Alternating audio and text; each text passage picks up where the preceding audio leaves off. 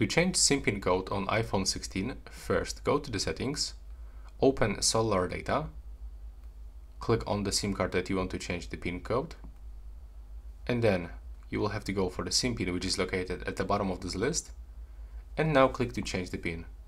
First of all, you will have to input your current pin, and click done, and then input the new one.